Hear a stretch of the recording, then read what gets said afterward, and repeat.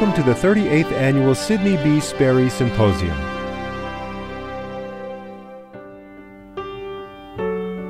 The theme of this year's conference is the Gospel of Jesus Christ in the Old Testament. Our speaker is Terry B. Ball, Dean of Religious Education at Brigham Young University. His address is entitled Isaiah's Other Servant Songs. Good evening, brothers and sisters, and welcome to this 38th Sidney B. Sperry Symposium. The presentations that uh, will be presented today have focused on, on the gospel of Jesus Christ in the Old Testament. And I'm delighted to address that topic this evening from the writings of Isaiah. I love Isaiah. I love this prophet. I love what he wrote. I love the way he wrote it. I love his language. I love the way it makes me feel to read his words. I love his doctrine. It's part of the very foundation of my faith. I know many of you share that same enthusiasm for Isaiah, and I hope that what I share this evening will, will feed that, that fire of enthusiasm. Some of you may be still trying to get some enthusiasm for Isaiah, and I hope that what I share with you might help you in that endeavor. Isaiah bore such a powerful testimony of Jesus Christ. Even his name, the name Yeshua, means Jehovah saves. Latter day Saints understand that Jehovah is Jesus Christ. Jehovah, the God who spoke to Abraham and Isaac and Jacob, is the same being who was tabernacled as Jesus of Nazareth. And so Isaiah's name bears that testimony Jesus is Savior. We find that witness throughout his writings. The latter chapters of Isaiah contain a series of passage uh, passages that talk about a servant. A servant whose life and ministry and suffering would bless the whole world. Scholars collectively call these the servant songs. Although an issue of some debate, a typical list of servant songs would include Isaiah 42, 1 through 6, Isaiah 49, 1 through 6, Isaiah 50, 4 through 9, Isaiah 52, 13 through 15, and Isaiah 53, 1 through 12. As we study the servant songs, or servant psalms as these are called, um, it's fun to think about who the servant is. Lots of individuals and entities have been identified as candidates for the fulfillment of the servant songs. In some of the servant songs, Isaiah himself seems to be a fulfillment of the prophecies contained therein. Some of them seem to point to uh, their fulfillment in Cyrus, the great, magnanimous, conquering king who overthrew Babylon and allowed the Jews to return to, uh, to Israel. And, and some, one in particular, the nation of Israel as a whole seems to be the servant. But Latter day Saints, along with many other Christians, also see the servant songs as applying to Jesus Christ. In fact, I'd like to suggest that whether it's Isaiah or Cyrus or Israel as a whole who might fulfill some of the servant songs in that capacity, each of those other individuals or entities are probably best viewed as a type or a symbol for Jesus Christ because only He fulfills all the servant songs, and some of them only He can fulfill. Now, by far and away, the most popular and well known of all the servant songs is Isaiah 53. I love that chapter. The entire chapter is the servant's song. It speaks to my heart. I love what it says. It tells us about Christ's humble beginnings and his obscure and un unexpected um, ministry, of his ordinary appearance, of his common life, of his vicarious suffering, of the persecution he would endure, and most importantly, of the infinite atonement he would work and what it means for each of us. That's a well known chapter of Isaiah. And so tonight, I've decided not to talk about Isaiah 53 much and rather turn my attention and our discussion to the other servant songs in hopes that uh, you'll appreciate and love them and what they teach us about the Savior as well. So I'm going to begin with Isaiah 42 and cover verses 1 through 7. I add one other verse to this, uh, this servant song rather than stopping it at verse 6.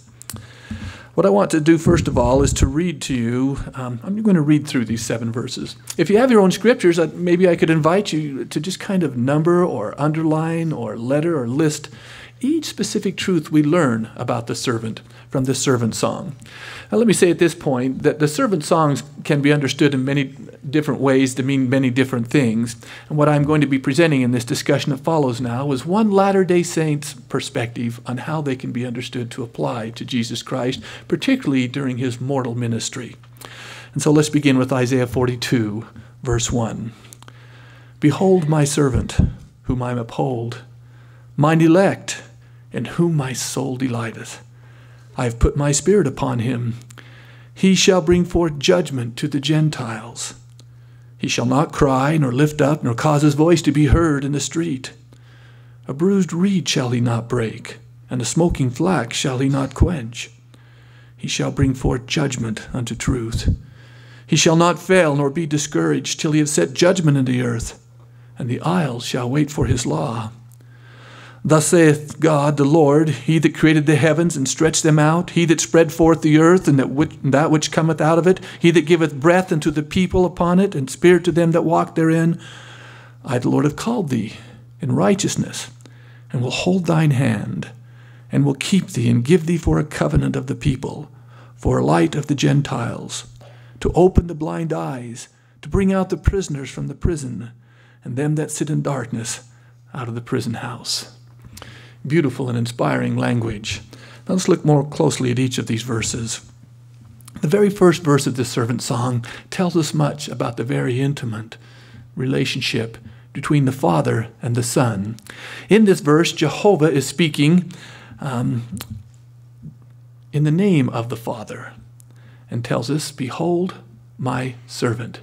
Immediately we learn that this Messiah, this servant Messiah, would be a servant of the Father. Throughout his mortal ministry, Jesus bore the witness that he came to do the will of the Father. Goes on, the Father declares, Whom I uphold. Christ was supported throughout his mission by the Father. Mine elect, we understand that he was chosen even before the foundation of the world, in whom my soul delighteth. I read that verse and it makes me think about how often the Father introduces the Son and says, Behold my beloved Son, in whom I am well pleased. Goes on and says, I've put my spirit upon him. Christ shared the spirit of the Father. The spirit, the will, the mission, the purpose, even to the point that in mortality he could testify that I and the Father are one. And then this very interesting line, he shall bring forth judgment to the Gentiles. An astonishing statement to make to Isaiah's contemporaries. The word translated as judgment here from the Hebrew mishpat um, can mean a kind of verdict or a sentence that could be either favorable or unfavorable. In the Meridian of time, the Jews who had suffered so much oppression at the hand of political enemies probably looked at this in a negative sense and thought, yes, he'll bring forth justice. He'll give retribution to the Gentiles. But the sixth verse of this particular um, servant song is going to suggest that maybe it's a, more of a blessing than a curse because it says he will bring light to the Gentiles as well. Continuing, the next few verses seem to tell us something about what his mortal ministry would be like. Now, you know that in the meridian of time, the Jews were so anxious to have a political deliverer. And so they focused their attention, it seems to be, upon the prophecy dealing with the millennial Messiah, the Messiah who would come with great power and glory, who would overthrow the nations of the earth and usher in the great theocracy of peace and rule as Lord and Lord and King of kings upon the earth and free the people. That's the kind of Messiah they were looking for. And when he came, all the world would know, and every knee would bow, and every tongue would confess that he's the Christ. But in this servant song, Isaiah is telling us about a different Messiah and a very different kind of ministry. He tells us in the second verse that he shall not cry, nor lift up, nor cause his voice to be heard in the street. Sounds like a rather quiet ministry, doesn't it? We know that Jesus' personal ministry was hardly known beyond Judea and Galilee. Much of the world was unaware that he came or left. A bruised reed shall he not break. Some of you may have seen reeds growing in a marsh. You know that they're hollow and they have a silicious wall, and if they get a little nick or a bruise in them, they easily fall over with just a slight gust of wind. But Isaiah is telling us that this Messiah's ministry, his passing, will be so gentle that even a bruised reed wouldn't topple by it. And a smoking flax may be better understood as a smoldering wick, like a, you can picture a linen wick uh, sitting in a, in a little um, oil lamp about almost ready to go out. It wouldn't take much to extinguish it, but he's saying this Messiah's passing will be so quiet that a smoking flax shall he not quench. Paradoxically, though, he will bring forth judgment unto truth. He shall not fail. He would be successful, nor be discouraged. The word translated here as discouraged can probably be best understood as the idea that he will not be turned away from his mission. He is going to accomplish this. We believe that.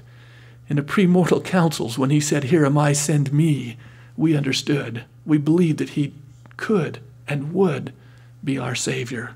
He shall not fail or be discouraged till he set judgment in the earth, and the isles shall wait for his law. Now, when we talk about the servant song in Isaiah 49, we're going to point out that whenever you see the word isles in Isaiah's writings, you can plug in the phrase, the scattered covenant people. And see what he's saying here then? The scattered covenant people shall wait for his law. That certainly bespeaks what was happening in Nephite days as they were waiting for the coming of the resurrected Messiah. And it speaks of us as well, part of a scattered covenant people who are awaiting another advent of the Messiah. Continuing, Thus saith God the Lord, and then details all the things that God has done, creating the heavens and the earth, and giving breath to the people and the spirit to them that walk therein. And then he speaks to the servant and he says, I, the Lord, have called thee in righteousness, and will hold thine hand. Again, we see this very intimate and personal relationship between the Father and the Son. He's there to support him and sustain him. And he goes on and says, I will keep thee and give thee for a covenant. We would say as a covenant or by a covenant for the people. And then this phrase, to be a light to the Gentiles. A light. Here I think we're talking about light in a D&C 93 kind of sense. To give truth and knowledge and intelligence to the Gentiles. Now, the reason I like to include verse 7 in this, servant songs because I think is continuing to speak about the servant's work, and it means a lot to Latter day Saints who have the 138th section of the Doctrine and Covenants and who understand 1 Peter 3 8 through 20 and 4 through 6.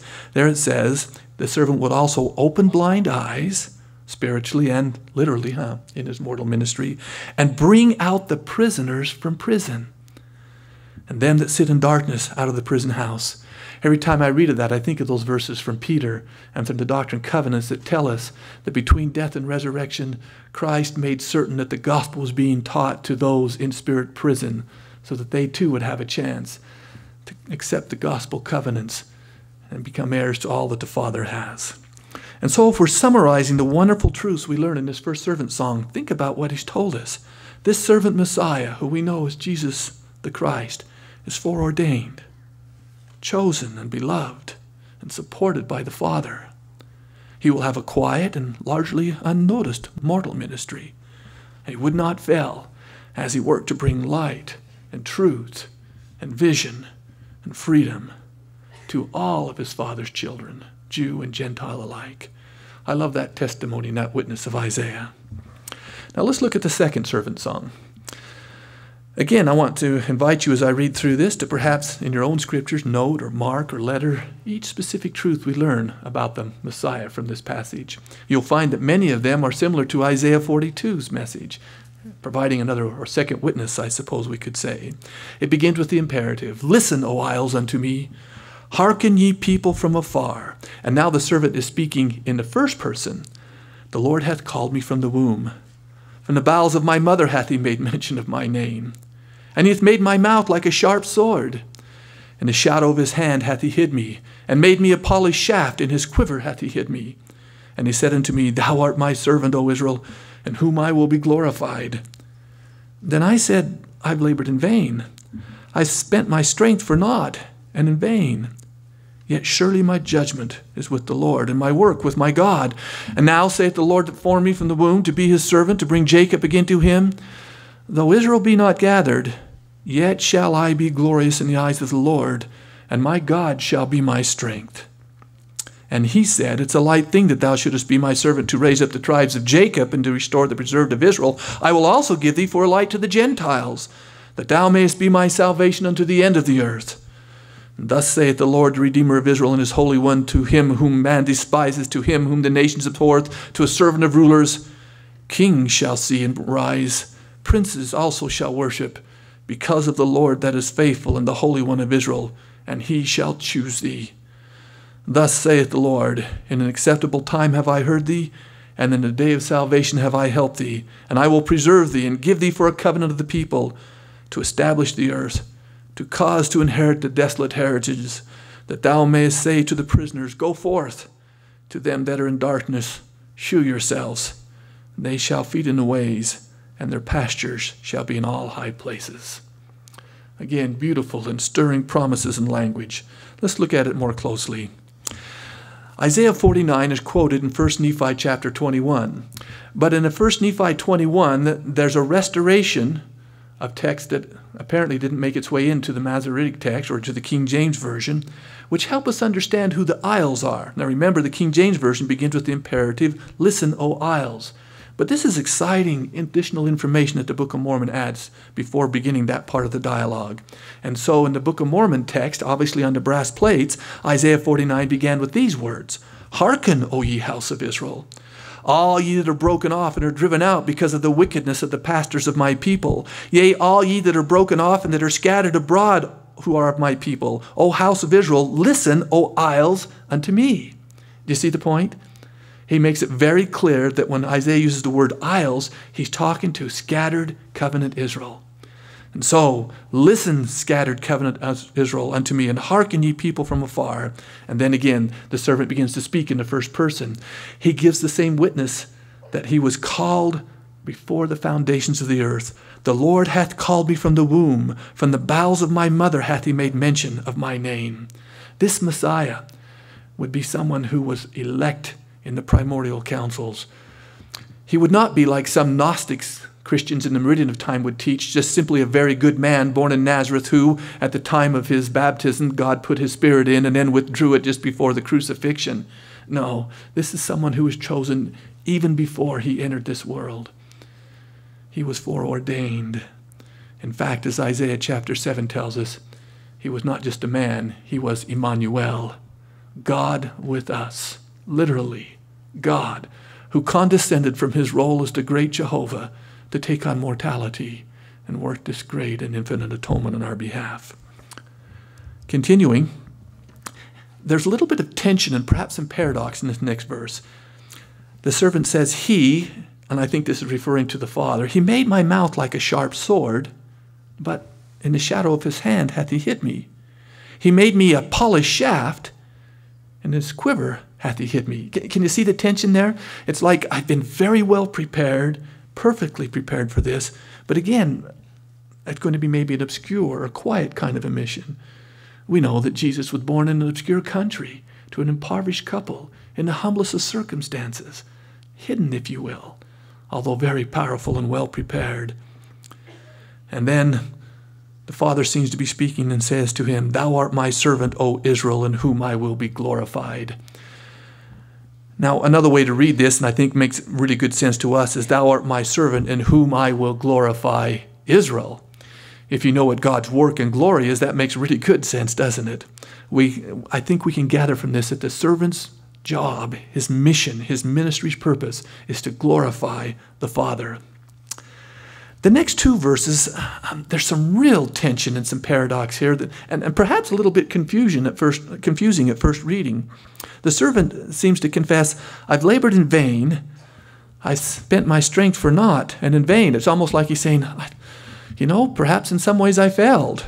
But then he comes to this realization and says, But my judgment's with the Lord, my work's with my God. Can you see what he's saying? Uh, on one level, it may look like I failed, but that's okay because I've done the work of the Father. Now, the fifth verse kind of says the same thing. And now saith the Lord that formed me from the womb to be a servant to bring Jacob again. And though Israel be not gathered, I haven't gathered all Israel yet, but I'll still be glorious in the eyes of the Lord. My God shall be my strength. Can you see the tension there? On one level, he seems to have maybe not met expectations, but that's okay because he's met the expectations of the Father. Every time I read this, I think it's probably well illustrated with what happened on Palm Sunday that you see on your calendars there just before Easter. That Sabbath, um, or what would become the Sabbath for us, that Sabbath of the last uh, Passover before Jesus was crucified, you know that in the meridian of time the messianic expectation ran high, and that the Jews in Jerusalem thought that the Messiah would come at Passover.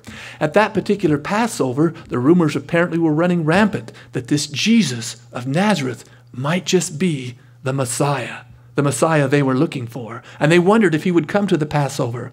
Can you imagine the excitement that must have run through Jerusalem when it was quickly noised about that Jesus was coming to Passover? He was descending the Mount of Olives from Bethphage, riding on a colt, the foal of an ass. And you remember what the people did? They left the city and they thronged the pathway leading into Jerusalem, and they strew palm leaves and coats before him like a returning conquering king. And you recall what they were saying? They were calling him the son of David and crying out, Hosanna, which means save us now, which tells us what they were expecting. It seems that they were expecting Jesus of Nazareth to ride into Jerusalem, to go to the Antonia fortress, that great symbol of Roman oppression built right against the temple, and to overthrow that Roman garrison, and to usher in the great millennial reign and free them as a people. That's what they were asking. Hosanna, save us now. But we know that instead of riding in and destroying the Romans, Jesus went and turned to the temple. Mark records that he simply looked around on that day and went back to Bethany. We can imagine the disappointment that the Jews in Jerusalem must have felt at that time. He hadn't met their expectations. They thought perhaps that he was a phony.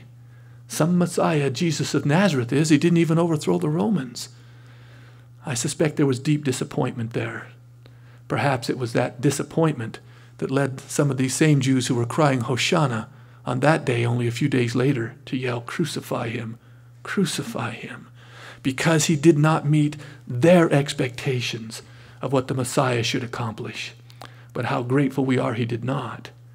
That he didn't come as the mortal Messiah to overthrow nations and Romans and kingdoms, but came to conquer something far greater he came to conquer sin and death.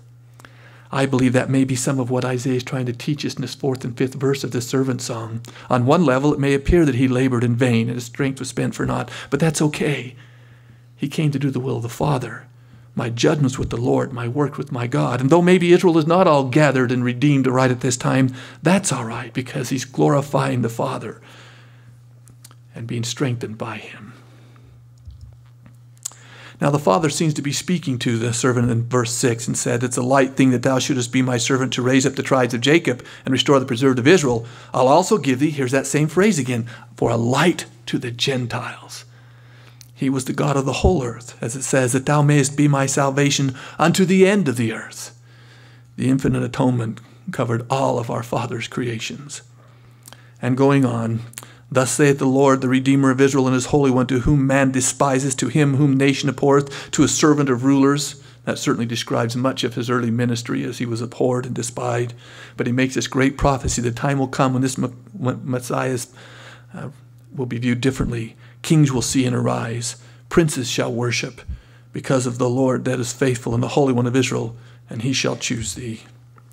Thus saith the Lord, in an acceptable time have I heard thee, and in a day of salvation have I helped thee. Again, God, I'm there to help you and to support you, and I will give thee my servant for a covenant to the people. Now, the Book of Mormon adds the phrase my servant to this verse as well, helping us know that the servant song doesn't particularly end at verse 6 as many servant song lists do, but let us know that it's continuing clear through verse 9. And I will give thee my servant for a covenant of the people. Why? To establish the earth and to cause to inherit the desolate heritages. And again, that thou mayest say to the prisoners, Go forth, and to those that sit in darkness, shew yourselves. His ministry would bless not only individuals in mortality, but even those in spirit prison. And so, what wonderful truths we see in the summary of the second servant song. This servant Messiah, Jesus, the Christ, again is foreordained, perfectly prepared, and yet hidden in some way.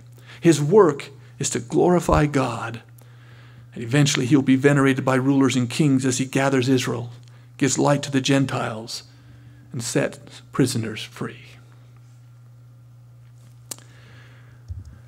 Now to the third servant song, Isaiah 54 through 9. The servant again seems to be speaking in first person here. The Lord God hath given me the tongue of the learned, that I should know how to speak a word in season to him that is weary. He wakeneth morning by morning. He wakeneth my ear to hear as the learned. The Lord God hath opened mine ear, and I was not rebellious, neither turned away back. I gave my back to the smiters, and my cheeks to them that plucked off the hair. I hid not my face from shame and spitting, for the Lord God will help me. Therefore shall I not be confounded, and therefore have I set my face like a flint, and I know that I shall not be ashamed. He is near that justifieth me, and who will contend with me? Let us stand together. Who is mine adversary? Let him come near to me. Behold, the Lord God will help me. Who is he that shall condemn me? Lo, they shall wax old as a garment, and the moth shall eat them up. Looking carefully now at this song, again we find the servant speaking of the wonderful things that the Father does in preparing him and supporting him in his mission. He's given him the tongue of the learned, that I should know how to speak a word in a season. Obviously, gifted at learning and understanding the will of the Father, and his ears are opened to wake, awakened to learn and to listen. He seemed to understand also that there would be persecution before him. As I read verse 5 and 6, you get the feeling that maybe Isaiah even saw and vision what Jesus would endure from the Sanhedrin on the night of his rest and from the Romans to whom he was delivered thereafter. As he says, I was not rebellious, neither turned away back. I gave my back to the smiters, and my cheeks to them that plucked off the hair, and I hid not my face from shame and spitting. He bears his testimony that he knows that God will help him, that he would not be confounded. Interesting imagery with the phrase, therefore I have set my face like flint. I suppose we would say his, his goals were set in stone. He was determined that he would carry out the will of the Father, regardless of the personal cost, and he knew that he would not be ashamed or fail. The last two verses seem to issue a challenge to those who re- would reject and contend against him. He lets them know that if they persist in such an action, that they would wax old and, and, and pass away like a moth-eaten garment. As we consider that, uh, that prophecy, we see much of it fulfilled and what happened to those who, who were responsible for his crucifixion in the centuries that followed. And so, in this third summary of the song, we learn that this servant Messiah, Jesus of Nazareth, will be taught by God and have the talents and skills required to be successful in his mission. He would be obedient to the Father, and even though it would require him to endure persecution, he would see it through to completion. And throughout all this, he would be helped by God, while those who contended against him would pass away. A beautiful testimony fulfilled perfectly in the ministry of Jesus Christ. Now, the fourth of the servant songs we're going to discuss this evening Isaiah 52, 13 through 15. Behold, my servant shall deal prudently. He shall be exalted and extolled and be very high. That certainly describes what would happen after his death, as kings and rulers did indeed come to worship him and recognize him, and we've put him in his proper place. The next verse is interesting. As many were astonished at thee, his visage, meaning the servant's visage, his countenance, his appearance, his form, his visage was so marred, more than any man, and his form more than the sons of men. That observation begs the question how was Jesus' visage, his form, marred more than any other man's? As I think about that statement, it draws me to Gethsemane where he suffered and endured more than any human could ever do. The way that Elder Talmage described it, as he spoke of Christ's experience in Gethsemane, he said, He struggled and groaned under a burden such as no other being who has lived on earth might even conceive as possible. It was not physical pain or mental anguish alone that caused him to suffer such torture as to produce an extrusion of blood from every pore but a spiritual agony of soul such as only God was capable of experiencing. No other man, however great his powers of physical or mental endurance, could have suffered so, for his human organism would have succumbed and syncope would have produced unconsciousness and welcome oblivion. In that hour of anguish, Christ met and overcame all the horrors that Satan, the prince of the world, could inflict. A beautiful description, I think, of what Isaiah means when he says, His visage was so marred more than any man, and his form more than the sons of men. To me, the most exciting part of this servant song is the next verse, because it tells us why. Why his visage would be so marred. Why the agony of Gethsemane. It starts with the conjunction so. Um, it can also be understood to mean therefore or thereby. Let's use therefore or thereby. His visage is marred more than any other man's, and his form more than the sons of men. Thereby shall he sprinkle many nations. Now, the word sprinkle in the Joseph Smith translation, uh, it's rendered as gathered.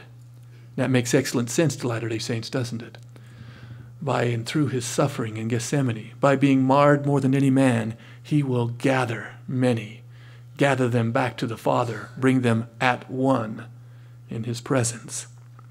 To the Hebrew, the verb sprinkle would have also made excellent sense. Think about how the verb sprinkle is used, what context it's used in the Old Testament. Most of you recognize, I think, that it's typically used in the context of sacrifice, in rites of purification and sanctification. For example, on the Day of Atonement, the high priest would take the blood of the sacrifice into the most holy place and sprinkle it about the most holy place, around the, uh, the mercy seat, the Ark of the Covenant. In the rites of purification for a leper, the, um, they would take, he would take the blood uh, mixed with water from a sacrificed dove and use it to sprinkle the leper in the process of purifying and sanctifying him and making him clean. And so we can read this verse He would be marred more than any, he would suffer so extraordinarily that he might gather, that he might purify, that he might sanctify us. Isaiah understood perfectly the purpose behind Christ's vicarious suffering, and then bears the testimony the kings would shut their mouths at him, for that which they had not been told shall they see, and that which they had not heard shall they consider. Again, this wonderful promise of hope. Though he may be despised and rejected and endure persecution and suffer more than any man, the time will come when he will receive and be honored in his rightful place, recognized, recognized even by kings. We see that literally as kings of nations make Christianity their state religion. Latter day Saints see it fulfilled in another way as individuals who have the opportunity to become kings and queens and priests and priests recognize him as their Savior and honor and love him. Wonderful truths are learned in these other servant songs. I'm grateful for the testimony that Isaiah bears here, that he has taught us that Jesus and the Father had a wonderful, loving, supportive, trusting relationship, that he was loved by the Father, chosen by the Father, obedient to the Father, perfectly prepared by the Father, and ever determined to do the will of the Father regardless of the cost. That he would come and have quiet and obscure, and for the most as far as the most part of the world is concerned, an unknown ministry.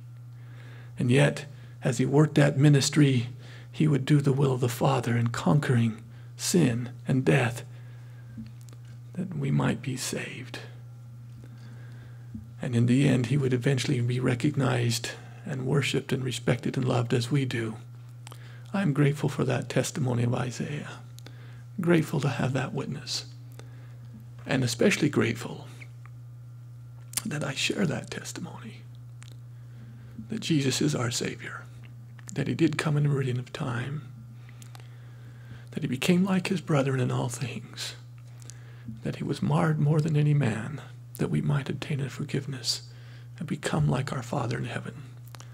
And I bear that witness in the name of Jesus Christ. Amen.